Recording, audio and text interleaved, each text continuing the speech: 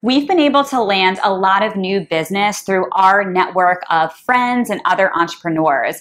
By being out and about and being at different events, so many of our friends and other entrepreneurs know what we do and know who would be a good referral for us. So then when they're out networking and meeting other people, if they hear someone say, Oh, I'm looking for a social media person. Oh, I'm looking to hire a social media agency, we're then top of mind. And then they send us an introduction. And we've landed so many clients through this.